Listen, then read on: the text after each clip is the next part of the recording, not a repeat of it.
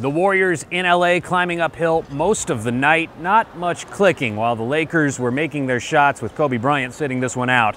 The Warriors working it inside early to Festus Ezeli coming off his career high 15 points the night before against Sacramento, 10 tonight, all in the first half. Klay Thompson hitting some early threes. He would finish the night with 18 points. And with the Warriors down 15 entering the second half, Stephen Curry hit some shots in the third quarter that would get it a bit closer on his way to a 22.6 assist night.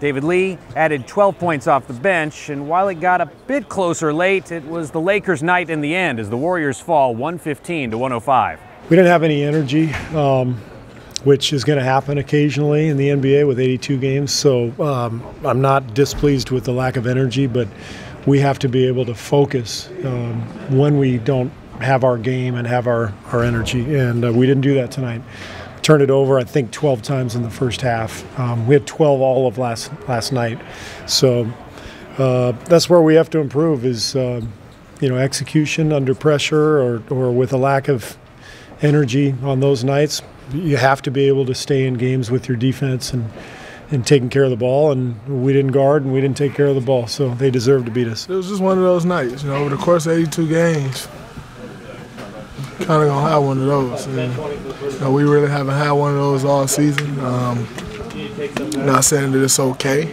but just we got to bounce back on Thursday. But it's a tough one, but we'll be okay. The Warriors now stay in LA and will be back here at Staples Center on Christmas night to face the Clippers.